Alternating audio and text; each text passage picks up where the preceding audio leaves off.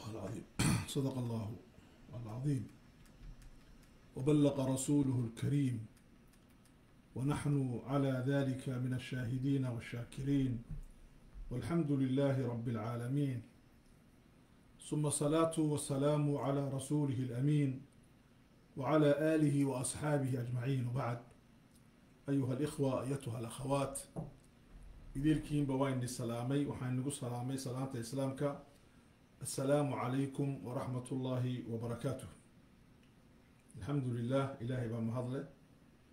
Okay soodka jayid codku jayid sheekhna? Okay alxamdu lilah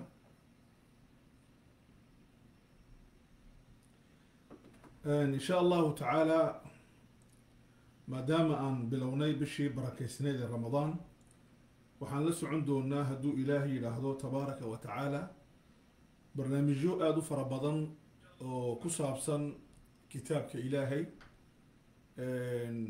Qaar aad ka dhageysan doontiin si gaara aniga iyo qaar aan la samayn doono sheekh jawhar.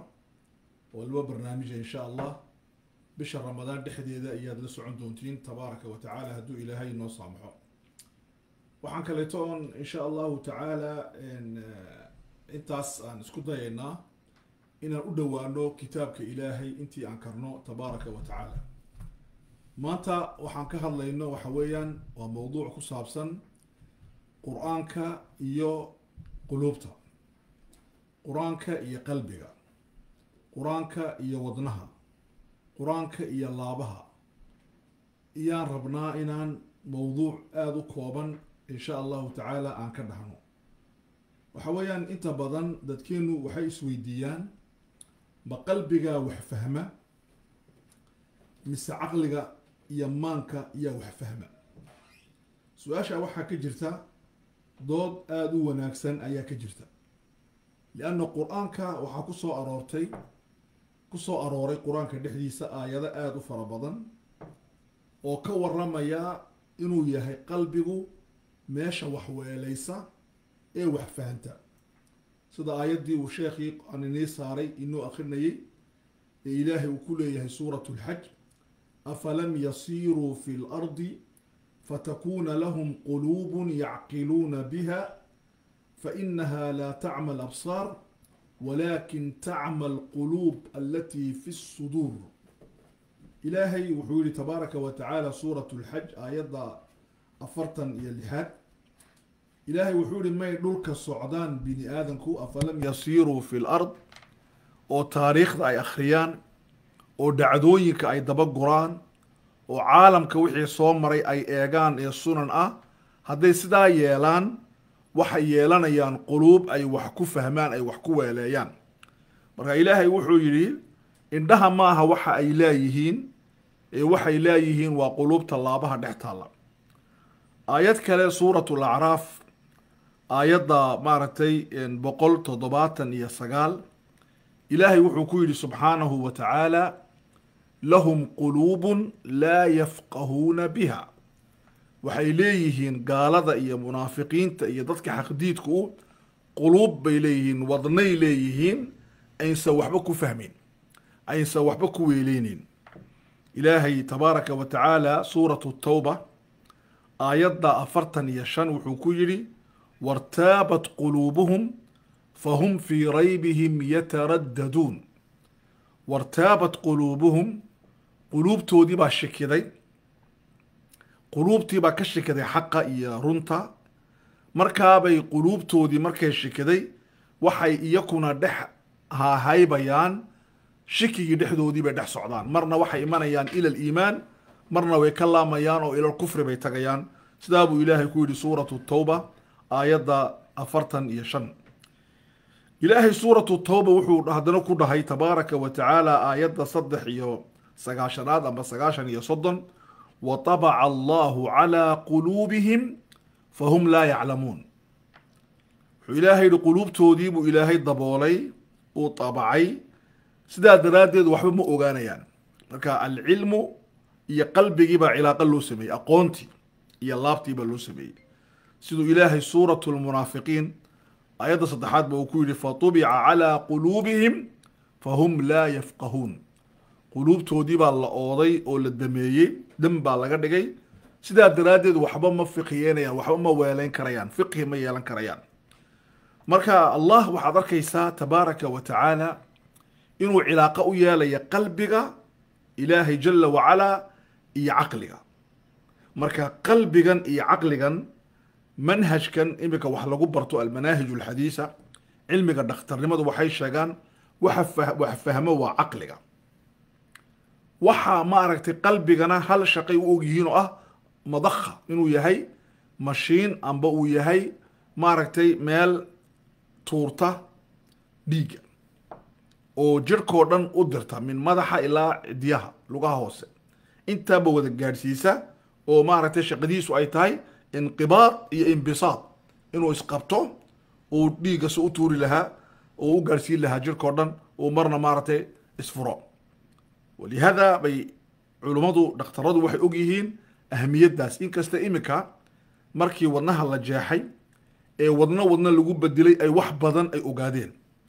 Oo ninkii hore dareemo uu lahaa qofkan kaleeta ee lagu lasiray ka soo baxday. Amba kuwan quluubtani sinaaciga lagu rakibay la arkay inuuna lahayn wax dareena oo bini aadantinimo ah. Ilaahay aayad kale wuxuu ku yihi tabaaraka wa tacaala fi suurati albaqara aayadda toddobaatan iyo afar huma qasat quluubukum fahiya kalxijaarati aw ashaddu qaswa. Ilaahay wuxuu la hadlayaa reer bani israa'iil wa min waraa'ihimna wuxuu la hadlayaa culummada qur'aanka ku dhex engegtay. Ilaahay wuxuu yihi quluubtiinii baa engegtay kadib arrinkaas quluubta marka ilaahay wuxuu ku tilmaamay sidaan arki doono taqsuu inay engegto. Oo markii engegtana maxaa ku dhaca? Ilaahay wuxuu yihi dhagax bay noqotay fa hiya kalxijaara sidii dhagaxa oo kale noqotay. Yacni dhagaxu dareen male dhagaxu fahmi male dhagaxu waxba ma yaqaan wuxuu ogyahay yaaskeerba idan insaankii quluubtoodu markay engegtay sidii dhagaxay noqdeen buu ilaahay yihi tabaaraka wa tacaala. Amba waa iyakaaba ka sii adagba lianna dhagaxa marka biyo lagu shubo akhiiran uu kala burburaa laakiin kani wax kastoo lagu hadlo lagu socdo uu dhegaysanaya un maqli jiray arki jiray bay ka noqonaysaa waxay u taraysaa iska yar ilaahay wuxuu ku yidhi maaragtay halkaas markii hore waxaan soo aragnay qur'aanku inuu ku tilmaamay caqliga markazu lfahmi laa yafqahuun laa yaclamuun fahum fii raybihim yataraddaduun markaska santarka wax fahanta ayuu ilaahay ku tilmaamay tabaaraka wa tacaala. Aayaddan iminka aan akhrino wuxuu ku tilmaamayaa inay tahay saantarka meesha u dhexe ee dareennada iyo cawaatifta laab laablakaca iyo maaragtay axaasiista qofku waxa uu dareemayo waxa uu og yahay waxaas oo dhan meesha bixinaysa ee jacayl iyo nacaab iyo ay ka dhalato inay tahay qalbiga ayuu ilaahay ku sheego waaba dhagax buu yihi tabaaraka wa tacaala. Aayad kale ilahay wuxuu ku yihi suuratu aala cibraan aayadda toddobaad faama aladiina fii quluubihim zayq zayqun zayqun waa bilgayn fayatabicuuna maa tashaabaha minhu kuwa quluubtooda leexasha ay ku jirto zayq uu ku jiro waxay raacayaan waxyaalada mutashaabiha ah ee qur'aanka ilaahay dhex dhigay tabaaraka wa tacaala rabbanaa laa tuziq quluubana laa tuziq quluubana bacda kadib markaadna hanuunisay tabaaraka wa tacaala waxay ka daimatay halkaa suuratu aali cimraan aayadda sideedaad aali cimraan nafteeda boqol lixdan iyo toddoba ilaahay wuxuu ku yidhi wayaquuluuna biafwaahihim maa laysa fii quluubihim. Waxay afkooga ka dhahayaan waxaan quluubtooda ku jirin islama socota qalbigooga iyo afkoogu ma wada socdo buu ilahay yihi tabaaraka wa tacaala. Ilaahay meel kale wuxuu ku yidhi fii suurati alacraaf aayadda boqolaad fatubica calaa quluubihim fahum laa yashcuruun quluubtoodii kadib markii la ooday waxba ma dareemayaan dareenkii baa ka dhintay idan halkan waxaan aragnay inuu ilaahay ka waramayo subxaanahu wa tacaala dhowr arrimood kow in uu ilaahay ka waramayo engeeg inuu ka waramayo leexasho inuu ilaahay ka waramayo isla socod la'aan inuu ilaahay ka waramayo dareen la'aan tabaaraka wa tacaala ilaahay jala wacalaa wuxuu kaluu kaga waramay suuratu lacraaf aayadda boqolaad. Wanatbacu calaa quluubihim fahum laa yasmacuun quluubtooda ayaan daabacnay waan oodnay waxba ma maqlayaan. Dhegtu waxaad moodaysaa inay furan tahay laakiin xaqa uma furno runta uma furno. Marka qalbigii iyo dhegtii baanan wada socon buu ilaahay noo war marka khalalku wuxuu ka imanayaa caqlulqalbi qalbigu caqli buu leeyahay yacni caqligu dimaaqa un maaha waan sheegi doonaa laakiin qalbiga iyo caqliga xidhiir adag baa ka dhexeeya. Siduu qur'aanku inooga warami doono tabaaraka wa tacaala amba ilaahay uu inoo sheegi doono subxaanahu wa tacaala. Idan walaalayaal markaas acmaalu lquluub iyo waxaa jira acmaalu lcuquul quluubtuna shaqo bay qabataa caqliguna shaqu qabtaa. Marka xidhiidh iyo cilaaqana way ka dhaxaysaa waxaa iminka la ogaaday kumaan kun khaliyo amba soliil amba unug oo qalbiga la shaqaysa oo aan ka shaqayn oo quraate waxa loo yaqaano inaa dhiigga la qaybiyo oo biologic oo waxyaalo kale ka shaqaysa. Sida loo ogaaday kumaan kun maahayna malaayiin siliil oo unug oo madkaxda ku jirta oo aan la shaqayn fahmiga oo la shaqaysa waxyaalo kale oo dareemo marka cilmigu weli wuxuu dabagurayaa waxaa loo yaqaana cilaaqat lcaqli bilqur'aan bilqalb cilaaqada caqliga iyo qalbiga ka dhaxaysa weli hadaa cilmigu uu dabaguraya marka ikhwaanii fillaah waxaan jecelahay maanta hadduu ilaahay dhahdo tabaaraka wa tacaala inaan ka hadalno waxaan u bixino qur'aanka iyo maxaa dhahdaa iyo qalbiga.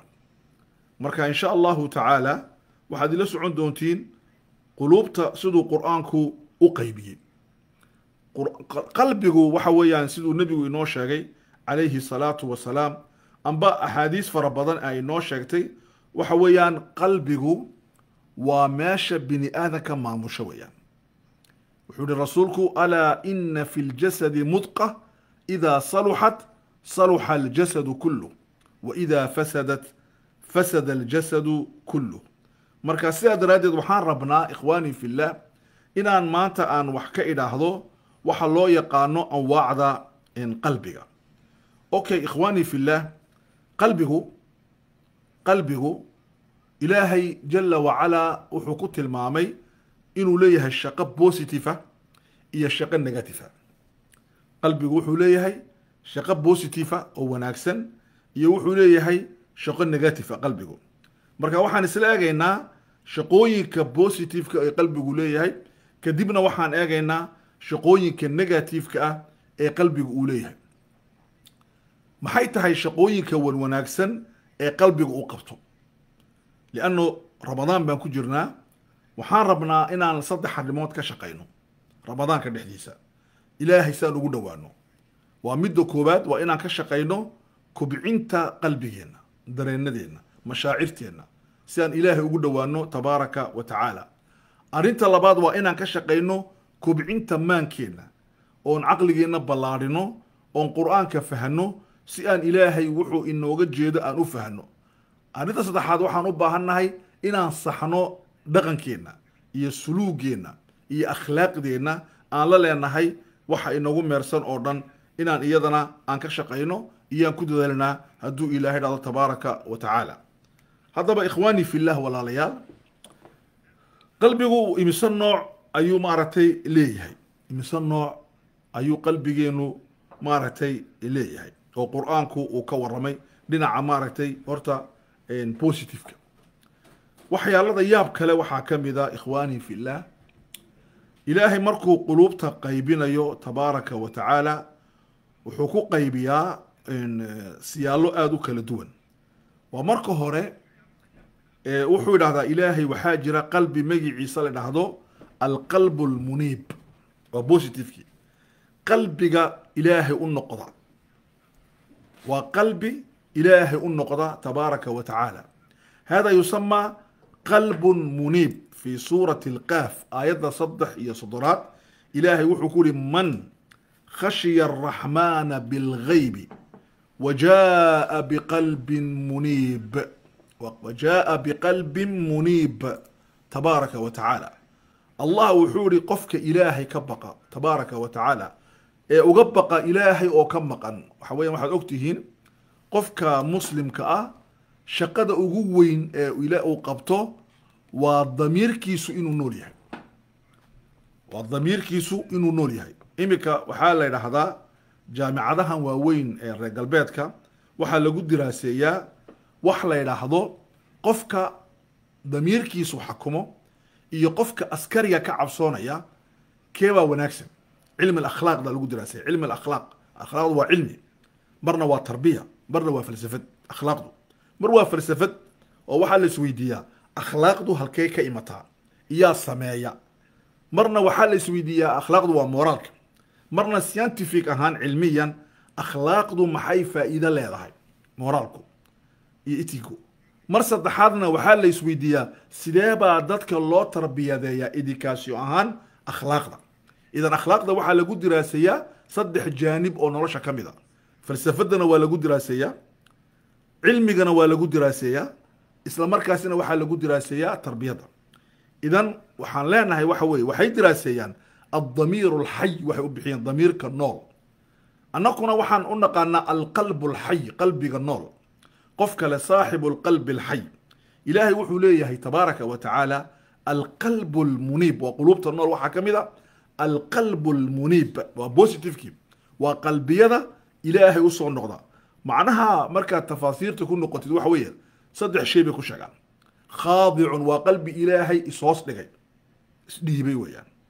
Muniib maxay ka dhan tahay? Anaaba uu noqday soo maaha. Suu u noqday ilaahii abuuray buu ishoos dhigay u laabmay tabaaraka wa tacaala. Arrinta labaad ay ku macneeyaan assaakin waa qalbiga xasilay weeyaan. Sakana qalbigu uu dudaa qalbigu uu ordaa qalbigu uu cabsadaa qalbigu u argagaxaa laakiin qalbiga muslimka ah waa degaa uu xasilaa idan sakana waa qalbiga marka muniib waxaa ku jira alkhaadic laba assaakin degan baa ku jira. Saddex almutma'in xasiloon sukuunku waa deganaan mutma'inkuna waa xasiloon. Okay saddexdan kelmadood ee aayadda qur'aanka lagu macneeyey ilaahay markuu yihi tabaaraka wa tacaala man khashiya araxmaana bilgayb wa jaa biqalbin muniib almuniib alinaaba waxaa lagu macneeyey hortaba waa khaadic qofka ilaahay goormuu isku dhiibaa? Tabaaraka wa tacaala markuu fahmo cadamadiisa weynidiisa markuu fahmo uu isdhiibaa markuu isdhiibo muxuu helaa? Uu degaa. Markuu dega muxuu helaa xasilooni buu helaa. Idan qalbiga koowaad ee nool waa maxay? Waa alqalb lmuniib qalbiga labaad ee nool waa maxay walaalayaal? Waa alqalb lmukhbit almukhbit weyaan qalbiga almukhbit ilaahay yihi tabaaraka wa tacaala. Mukhbitku waxa weeyaan waa qalbiga ilaahay tabaaraka wa tacaala isaguna tii horon bay la tahay. Muniibku ilaahay buu u soo noqday daa'im rujuuc ilaahay buu u soo noqday ilaahay buu isku dhiibay kadibna uu xasilay kadibna uu maaragtay uu degay. Idan markuu xasilay uu degay wuxuu noqday qalbun mukhbit. Waa darajada. Waxay ka waxay ka waxay ka dhalanaysaa inaan isku laaqin alinaaba. Inaabadii noqodkii qalbigii laamay ee ilaahay u soo laamay wuxuu isku bedelayaa qalbun mukhbit. Ay khaadic qalbi ilaahay isku dhiibay tabaaraka wa tacaala. Muxuu ka dhashaa qalbigaasi? Wuxuu ka dhashaa aqoonta wuxuu ka dhashaa xaqa oo la qaato wuxuu ka dhashaa iimaanka. Saddexda alcilmu waa kow alxaq oo la fahmo waa laba aliimaan saddex. Saddexdaa haddaad isku heshid arrintan baa dhalanaysa. Ilaahay muxuu ku yidhi qur'aankiisa kariimka ah wuxuu yihi ilaahay tabaaraka wa tacaala waliyaclama aladiina uutuu lcilma annahu lxaqu min rabbika fayu'minuu bih. Maxaa dhacaya marka? Fatukhbita lahu quluubuhum. Ilaahay wuxuu yihi waxaa ogaanayaan waliyaclama aladiina uutuu lcilma kuwii cilmiga ilaahay siiyey waxay ogaanayaan way ogaanayaan annahu qur'aanku annahu islaamku annahu diintu alxaq inay xaqii tahay. Oo ka imatay min rabbika ilaahay ka imatay fayu'minuu markaa bay rumaynayaan bihi xaqii bay rumaynayaan marka cilmi bay yeesheen xaqi iyo cilmigii baa iswaafaqay kadibna iimaan bay heleen. Saddexdii muxuu dhalisay? Fatukhbita waxaa isdhiibtay quluubtoodii baa isdhiibtay waa qalbun mukhbit. Arrinta saddexaadi waxa weeye waa alqalbu saliim. Waa qalbi caafimaad qaba ee qalbiga caafi alqalbu saxiix laguma oran saxiixu waxa weeyaan waa qalbiga ka caafimaad qaba jiro jirooyinka dhakhtaradu ay sheegaan buu ka caafimaad qabaa subag male male macaan male male maaragtay dhiikar male hada yusamaa qalbun saxiix laakiin qalbun saliim waxa weeyaan waa qalbi badbaaday. Ka badbaaday shirki. Shirki buu ka badbaaday.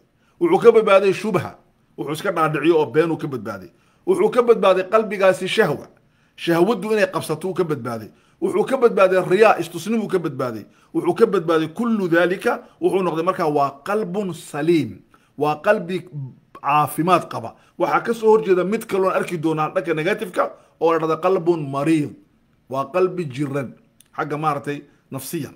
Ilaahay markaa tabaaraka wa tacaala suuratu shucaraa sideetan iyo sideed sideetan iyo sagaal wuxuu ku yidhi yowma laa yanfacu maalun walaa banuun ilaa man ata allaha biqalbin saliim. Qalbigaasina waa midda saddexaad. Idan waxaan soo arnay qalbi ilaahay u soo noqda qalbi isdhiiba mukhbit ah iyo qalbi caafimaad qaba. Afar alqalbu lwajil qalbiga argagaxa cabsada. Ilaahay ka baqa. Waa qalbigii deganaa ilaahay marka la hadal qaado uu argagaxaa wajil baa ku dhaca. Waa waa qalbiga ilaahay ka cabsada weeyaan. Waa qalbiga ka baqa camal uu sameeyey oo fiican in laga aqbali waayo. Waa qalbiga ka baqaya inuu cadaabta ka badbaadi waayo. Waa qalbiga aan isku halaynayn camalka uu qabtay ee isku halaynaya raxmadda ilaahay tabaaraka wa tacaala ilaahay suuratu lmu'minuun aayadda lixdanaad wuxuu ku yidhi waaladiina yu'towna maa atow wa quluubuhum waladiina yu'tuuna maa atow wa quluubuhum wajila. Ilahay wuxu waa kuwa la imanaya waxay la imanayeen. Yacni zakadii u yu'tuuna zakaat zakadii buu bixinaya sadaqadii buu bixinaya wixii uu khayr u qabanaya camalkii buu qabanaya. Laakiin marka uu qabanayo quluubtoodu waa argagaxaysaa. Caasha waa tii rasuulka weydiiyey alai slat slaam rasuulku waa kii ka saxay yidhi waa qofka mu'minka ah ee khayr la imanaya ee ka baqaya in khayrkii laga aqbali waayo. Wa quluubuhum wajila annahum ilaa rabbihim raajicuun. Waxay og yihiin inay ilaaha weyn ee khaaliqa ah ilaaha weyn ee cadiimka ah ilaaha weyn ee na abuuray in lais hortaagi doono keliga adoo waxba ahayn. Daraat cumatiida amaam allah laa shay. Ilahay baa horjoosa doontaa subxaana wa tacaala wuxuu ku weydiin doonaa kula shay idan qofka mu'minkii waa kaa weya waa qalbun wuxuu leeyahay wajil qalbi argagaxaya. Qalbi ma aha adduunka ka argagaxay maaha halkaa uu degay uu xasilay. Sakana akhbata khadaca agga adduunka uu degay uu xasilay. Ilaahay kalsooni buu ku hayaa. Inuu maalintuu ugu talagalay dilayo maalintuu ugu talagalay nafta ka oofinayo maalintuu ugu talagalay uu risiqa ku cidhirinayo maalintuu ugu talagalay uu risiqa ka dharginayo taa oo kalsooni buu ka qaaday. Laakiin argagaxu wuxuu ka imanayaa inuu ilaahay aqbali waayo cibaadadiisa tabaaraka wa tacaala. Hada waa arrinta afraad ee qalbigan positiveka ah. Shanaadi waa maxay? Waa alqalbu alqalbu taqiyu waa qalbiga ilaahay ka baqa tabaaraka wa tacaala. Waa qalbiga halkan baa qofka muslimka laga xukumaa qofka muslimka ah anteryeerka gudaha anterniga iyaa laga maamula. Qofka muslimka dibadda laga maamulo muslimku aabihii maaha wuxuu u cibaadaysto hooyadii maaha wuxuu u cibaadaysto gabadha odaygeega maaha waxay u cibaadaysato odaygu islaantiisa uma munaafaqeeyo dowlad kama cabsoodo ilaahay uma caabudo. Qofka muslimkii wuxuu ilaahay u caabudaa isagay ka soo hoosbaxaysaa. Isagay ka imanaysaa. Walidaalika bay culummadu yidhaahdaan waa qofka taqyi waa ke waa qofka shacaa'irta ilaahay weyneeye weeyaan. Salaaduu la weyn tahay soonkuu la weyn yahay zakaduu la weyn tahay xashku la weyn yahay ilaahay la weyn yahay qur-aanku la weyn yahay dikrigu la weyn wax wal oo weyn uu ilaahay weyneeyey baa agtiisa weyn wax wal oo ilaahay uu ka dhigay muhiim agtiisa waa muhiim wax waluu ilaahay halka hore dhigay agtiisa halka hore u dhigaya lidalika ilahay wuxuu yihi tabaaraka wa tacaala dalika waman yucadim shacaa'ir allah fainaha min taqwa alquluub quluubta taqwadeeda waxaa ka mid a in la weyneeyo shacaa'irta ilaahay tabaaraka wa tacaala okay waa qalbiga shanaadi waa ka. Waa qalbun taqiyun. Waa qalbi taqya oo naqi ah qalbiga maaragtay muslimku. Okay ikhwani fi llah qalbiga maaragtay lixaadi waxa weeyaan waa qalbun mahdiyun. Waa qalbi hanuunsan. Waa qalbi ilaahay hanuuniyey tabaaraka wa tacaala. Siduu ilaahay u hanuuniyey? Waa qalbi ku kalsoon qadada ilaahay. Ilaahay waxa uu gooyey alqadaau walqadar alqadaau walqadar ilaahayow maxaad gooysay maadaa taqdii wamaadaa tuqadir maxaad gooysay maxaad qaraar qaadatay ilaahay tabaaraka wa tacaala wixiisa ayuu ku kalsoon yahay qofka muslimkii markuu ilaahay jala wacalaa maaragtay uu caabudayo tabaaraka wa tacaala walidalika ayuha alikhwa walaalahayga muslimiintow waxaan u baahannahay in aan ilaahay u fahano subxaanahu wa tacaala sida uu rabo qur'aankiisa inaan u fahno. Marka taasina waa maxay? Limaada? Maxaan sidaa u leenahay ikhwaanii fillah waxaan sidaa u leenahay waxa weeyaan ilaahay jala wacalaa wuxuu rabaa oo muslimiinta ka rabaa tabaaraka wa tacaala inay dadka muslimiintii ay noqdaan dad quluubtoodu ay nooshahay. Marka qalbigaasi waa maxay? Maxaan odhanay waa qalbiga mahdiga ah ee hanuunsan ee ku hanuunsan suuratu taqaabun aayadda toban iyo kow ilahay wuxuu ku yihi waman yu'min billah yahdi qalbah.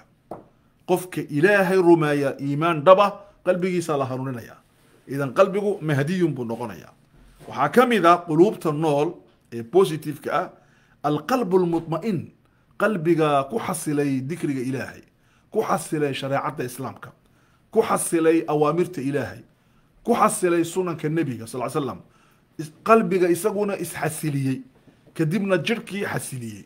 Waa qalbiga intaa leg shaqadaabuu qabtay. Wixii uu aaminsanaabuu ku xasilay. Kadibna isagiibaa xasilay. Kadibna jirhkii uu ku dhex jiray buu xasiliyey. Walidalika ilaahay wuxuu yihi qalbigaasi waa qalbiga ku xasilay towxiidka laa ilaaha ila allah muxamadun rasuulullah. Waa qalbiga ku xasilay inuu ilaahay yahay naaficun daar waa qalbiga ku xasilay inuu ilaahay wax anfaco waxna dhibo waa qalbiga ku xasilay inuu ilaahay yahay muxyin mumiit nooleeye iyo dile waa qalbiga ku xasilay inuu ilaahay yahay ka u qalmo in la caabudo tabaaraka wa tacaala. Waa qalbiga ku xasilay inuu ilaahay yahay alxaakim ka wax maamulo inuu yahay. Waa qalbiga ku xasilay inuu ilaahay yahay alkhaaliq qalbigaasi muxuu yeeshay marka? Ilaahay buu ku xidhmay. Markuu ilaahay ku xidhmay muxuu helay? Ilaahay buu xusay. Markuu ilaahay xusay muxuu helay? Ilaahay baa jawaabtii siiyey fadkuruunii adkurkum. Markaad aniga i xustaan anna waan idin xusaya. Markaan anigu ku xusana qalbigaagaan degaya. Haddaan qalbigaaga degana waa degaysaa alaa buu ilaahay yidhi watatma'inu buu ilahay yidhi watatma'inu quluubuhum bidikri illah alaa bidikri illahi tatma'inu lquluub? Suuratu racd labaatan iyo sideed aayadda. Quluubtu goormay xasishaa waxay xasishaa waxaas dhan markay hesho ayuu ilaahay noo sheegay tabaaraka wa tacaala okay dhinacaa un maaha. Waxaa jira alqalbu alxay qalbiga nool. Quluubtu qaarna way dhinteen waa meyit qaarna way nool yihiin. Marka qalbiga positiveka waxaa ka mid a waa qalbi nool waa qalbi dareen leh waa qalbi dhaqdhaqaaq leh waa qalbi ooya waa qalbi farxa waa qalbi argagaxa. Ilaahay markuu xasuusto waa qalbi indhaha ka ilmaysiiya waa qalbi jirhka ka jirucaysiiya waa qalbi dikrigu ay ay taabsato. Waa qalbi qur'aanku taabsado. Ilaahay wuxuu ku yidhi subxaanahu wa tacaala qalbigaasi waa qalbi caqli leh waa qalbi dareen leh. Ha ilaahay wuxuu markuu ka waramay ummadihii hore siduu u halaagay ilaahay. Annagu waxaan dhahnaa waa reer fircoon sida loo galay. Allah samuud sida loo galay.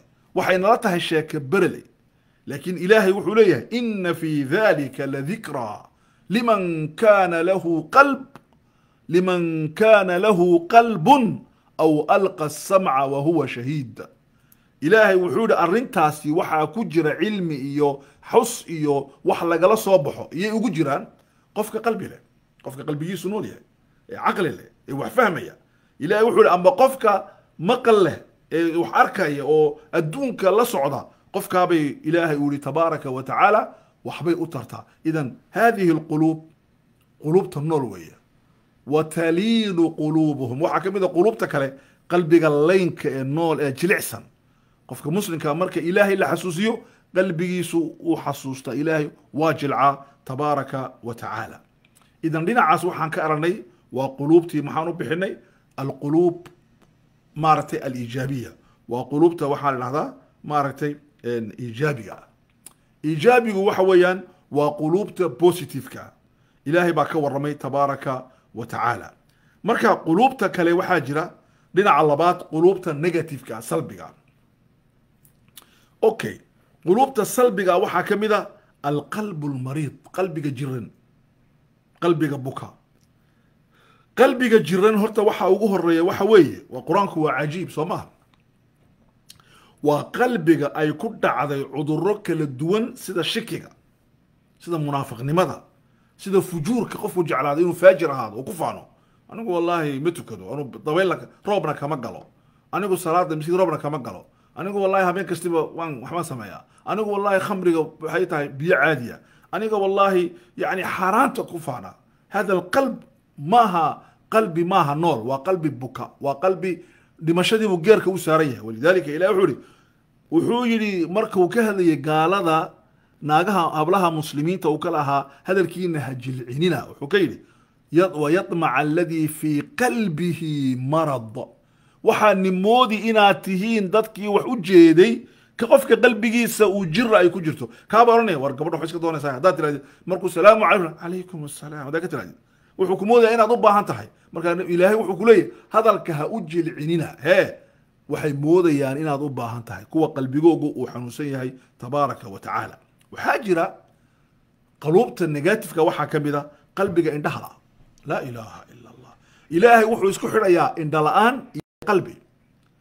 Qalbi indhala ilan waxaan soo arnay qalbi noole. Waa qalbigani waa qalbiyada dhintay weeye. Ilaahay muxuu yihi waa qofka macsidu intay ugu dhacaysay oo xaqi arki kari waaye ambase runtii arki kari waaye oo nolosha ay waashay. Ilahay wuxuu ihi walaakin tacma alquluub alatii fi suduur waxaa indhala waa quluubta laabaha ku jirta. Qofkani xaqii uu iska arkaya laakiin muxuu u qaadan leeyahay? Qalbigiisii baa noqday qalbun hayra xay ma noolo. Waxaa ka mida quluubta ilaahay sheegay ee negatifeka ah alqalbu laahib qalbiga lahwiga ku jira ee ciyaarta uu ku jira. Ee marka uu qur'aan maqlo isgala. Hadduu ciyaar iyo misig iyo hees maqlona farxa. Waa qalbiga hadduu ilaahay la xasuusiyo maxaad u jeedaa koranaya haddaad laakiin uga sheegaysa sheeke yaroo qosalo macalin war halkaa kagahay koranaya. Waa qalbun jecel an yalhuwa daa'iman. Laguma leh lahwigu waa xaaraan laguma leh. Laakiin waa qalbi had iyo jeer lahwi iyo ciyaar iyo waxaan ku jira ilaahay muxuu yihi tabaaraka wa tacaala. Isagoo ka warramaya laahiyatan quluubuhum. Quluubtoodaa ciyaar ku jirta kuwa munaafiqiinta iyo gaalada. Ah ilaahay wuxuu yihi qalbi kale wuxuu ku tilmaamay qalbun aasim. Qalbi dembiile ah. Laa ilaaha ila allah dembiguu jecel yahay. Walidaalika waxaa ka mid a qofka markhaati loogu yeedho ee markhaatiga qariya marag loogu yeedho ee maragga qariya amba been ka sheega amba sidiisii aan ahayn u sheega wuxuu ilaahay ku tilmaamay inuu yahay qalbiga mid dembi kaga dhacaya. Matalan waxaa lagaa yidhi hebel iyo hebel keebaa dalka inay maamulaan u fiican? Waxaa tidhi hebelo in adeerkaya u fiican. Dembi baad ku dhacday. Waxaa lagaa yidhi matalan waxaa lagaa yidhi qofkani lacag buu hebel kula waad ogeyd. Hebel hebel lacag ma kuleeyahy may kuma leh anu ma ogi walaalnimaad uga xatay amba tolnimo. Ilahi wuxuu uhi walaa taktumu shahaadata waman yaktumha fainahu aathimun qalbun. Wuxuu ihi ilaahay marag marka nilii qabsada ha qarinina haddaan maragga ogtiin ha qarinina qofka qariya qalbigiisaa dembi ku dhacay tabaaraka wa tacaala. Waxaa ka mid a alqalbu almutakabir qalbiga isla weyn ee ilaahay towxiidkiisa iyo daacaddiisa iyo waxaasoo dhan iska weyneeya. Wuxuu yihi ilaahay markuu ka hadlayay gaalada siduu u tabaacay qalbigooga calaa qalb maarata qalbiga kulli qalbin qalbi walo mutakabirin isla weyn oo jabbaara qalbiga kibirka maaragtay qofka isla weyn oo xaqa iskala weyn oo runta iskala weyn oo maaragtay diinta iskala weyn oo islaamka iskala weyn oo fahamka saxda iskala weyn oo isku haysta inuu maaragtay ilaahay dadka kale uga dhow yahay. Ambase xooluhu ay wax kastiba yihiin saabuu ilahay ku sheegay tabaaraka wa tacaala. Waxaa jira qalbi khaliid ah. Qur'aanku wuxuu sheegay negatifka waxaa ka mid ah qalbi adkaaday oo wax kastood bini aadanka aad u aan waxba kaa soo qaadin. Wax balba markuu dan kaa leeyahay uu isku kamarmari marka uu dan kaa lahayna uu kaa tagay waa kuwa ilaahay nabigiisa uu ku sheegay ee ahayd qofka raxmadda iyo jajabka laga qaaday ilahay wuxuu yihi tabaaraka wa tacaala nabigiisu yidhi low kunta fadan ghaliida alqalb. Haddaad ahaan lahayd mid ad adag oo qalbigiisu uu adag yahay oo dhagax yahay waa laga kala yaaci lahaa buu ilahi tabaaraka wa tacaala waxaa jira alqalbu almaktuum qalbi la xidheba meel laga galaba ma leh gudaha la geliyey wuu oodan yahayba qalbigaasi. Wa khatama calaa samcihi wa qalbihi. Samcigiisiina waa la ooday qalbigiisiina waa la ooday. Waxaa jira alqalbu alqaasi qalbiga adag baa jira waa negatifekii ilaahay wuxuu ui waa qalbiga aan iimaanku dabcinayn uuna jilcinayn ee uuna ta'siirinayn uu raadaynayn waa qalbiga zajrigu weerarka ilaahay iyo suuratu daariyaat iyo suuratu qaaf iyo suuratu tuur iyo suuratu naba iyo suuratu naasicaat iyo suuratu takwiir iyo suuratu linfitaar waxa ku jiru ilaahay ka hadlayo. Waxba kama soo qaadayo. Maqli jiray arki jiray weyn markaasi dikrigii ilahay waxba uma tarayaan wajacalnaa quluubahum qaasiyatan. Ilahay wuxu uhi quluubtoodii waxaan ka dhignay mid adag oon ilaahay diintiisa aan u soo jilcayn waxaa jira alqalbu alghaafil qalbiga isagu kaafilka aba waxba la socon baba adduunkaba jooginbaba he oo amarka ilaahay iyo dikriga ilaahay ka kaafilka ah. Miskiid aan gelayn qur'aan aan akrinayn ilaahay aan caabudayn nebi moxamed aan ku daynayn sal alla alay salam meesha ilaahay lagu xusaya aan tegayn oo kaafil ka ah. Ilaahay wuxuu rasuulkiisu keenay sal waxaa jira dad marka ay adduun arkaan dawakha laakiin marka ilaahay la xusayo waxba ka soo qaadeen walidaalika ilaahay wuxuu ku yidhi isbir nafsaka maca aladiina yadcuuna rabbahum bilqashiyi walghadaa ilaahay wuxuu kee nabigiisa waar kuwa ilaahay xusaya ee baryaya ee masaakiinta ee cawlcawlan la fadhi naftaada ku sabirsii laakiin muxuu ka daba keenay walaa tutic man akfalnaa qalbahu can dikrina watabaca hawaah wa amruhu furata. Ilaahay wuxuu yihi tabaaraka wa tacaala ha aqbalin kuwa quluubtooda aan qufullay ee hawadiisa raacay taaska ilaali. Waxaa jira alqalbu zaa'iq qalbiga maaragtay leexday. Ilaa xaqu waa zaaniya uu ka leexday. Xaqii baa ka socdaa. Dadkii xaqa raacayna saas wa ku leeyahy waa dadkaasi waa asal raac waa dadkaasi waa baasha way ku dhegsan yihiin waa dacan kala weyaan وروحوا دين بكشا كان نرش وكبحن صار سوا الله يا وحول الله كوا كتل ما بتبارك وتعالى. إن فأما الذين في قلوبهم زيق وحجر القلب المريب. قلبك الشكي ونقول هذا جاء ما أحلى الشيء قبل كسان حق كشا كسان وارتابت قلوبهم. قلوب توديبا. إلى هيوحول تبارك وتعالى. مركو كهل يوحول قلوب تودي. محاكو دعي. ما محاكو دعي بالله قلوب تودي. ويشكي دي بالله سبحانه وتعالى. إذن إخواني في الله waxaan aragnay qalbigaa indhahala waxaan aragnay qalbigaa buka waxaan aragnay qalbigaa laahigaan aragnay waxaan aragnay qalbiga maaragtay aasimka ah ee dembiilaha ah waxaan aragnay qalbiga mutakabirka ah waxaan aragnay qalbiga khaliidka ah waxaan aragnay qalbiga makhtuumka ah. Waxaas oo dhan baan aragnay. Waxa weeyaan waxaas oo dhan wuxuu ka hadlayaa ikhwaanii fillah waa quluubta adduunkan aan ku nool lahay. Isweydii adigu marka ramadaan baa ku jirtaa. Labadaa qalbi kee baa tahay? Ma quluubtii horaa tahay mise quluubta dambaa tahay. Marka waxaan insha allahu tacaala darsigeena soo socda aan ka hadli doonaa sidee baan quluubteenna haddaan qolada hore nahayna maxaa inoo kobcinaya? Haddaan qoladan kala nahayna sideen uga soo baxnaa oon qolada u noqonaa marka dersigaas oo labadaas ah kani waa waaqicii baan ka hadlanay waa tawsiif baan diraasa tawsiifiya qur'aaniya. Wixii qur'aanku siduu quluubta inoogu soo bandhigay iyaan ka hadalnay waxaan galaynaa dersiga labaad dersun tawjiihiy waa dersi tawjiiha waa orientation waa tarbawi waa education. Waxa weeyaan waxaan ka sheekeyn doonaa kayfa nantaqil? Hadduu qalbigeenu fiican yahay sideen u sii kobcinaa tanmiya dhadaa hadduu dhakan yahayna sideen u soo toosinaa insha allahu tacaala. Ilaa aan ku kulmayno dersigeena soo socda insha allah. Waxaan naga tegayaa sidaa iyo nabadgelyo iyo nooli kulantay. Ramadaan mubaarak taqabal allahu minkum mina saalix alacmaal assalaamu calaykum waraxmat ullahi wabarakaatu وعليكم السلام ورحمة الله.